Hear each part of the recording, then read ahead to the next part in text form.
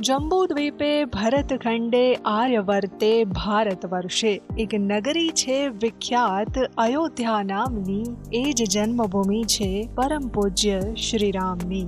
તમામ રામ ભક્તો માટે આનંદના સમાચાર છે. શ્રી રામ જન્મભૂમિ તીર્થક્ષેત્ર ટ્રસ્ટે શ્રી રામ મંદિરના પ્રાણ પ્રતિષ્ઠા મહોત્સવ માટેની તૈયારી શરૂ કરી દીધી છે અને તેની તારીખ પણ જાહેર કરી દેવામાં આવી છે. આગામી બે હજાર ચોવીસના જાન્યુઆરી મહિનાની એકવીસ, બાવીસ અને ત્રેવીસ તારીખે આ પ્રાણ પ્રતિષ્ઠા મહોત્સવ ઉજવાશે. ટ્રસ્ટના મહાસચિવ સંપત રાયે જણાવ્યું હતું કે શ્રી રામ જન્મભૂમિ તીર્થક્ષેત્ર ટ્રસ્ટે વડાપ્રધાન નરેન્દ્ર મોદી, સાધુ સંતો અને મહાનુભાવોને આમંત્રણ આપવા માટેની તૈયારી શરૂ કરી દીધી છે.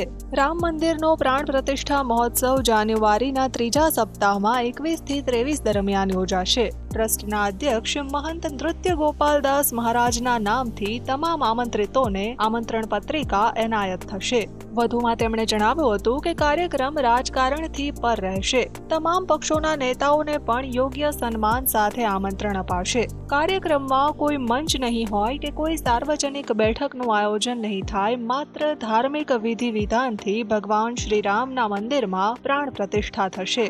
એકસો છત્રીસ સનાતન પરંપરાના પચીસ હજાર સાધુઓ ધર્મગુરુઓને વિશેષ આમંત્રણ અપાશે. પચીસ હજાર સાધુ સંતો ઉપરાંત દસ હજાર મહેમાનો પરિસરમાં હાજર રહેશે તેવો અંદાજ છે.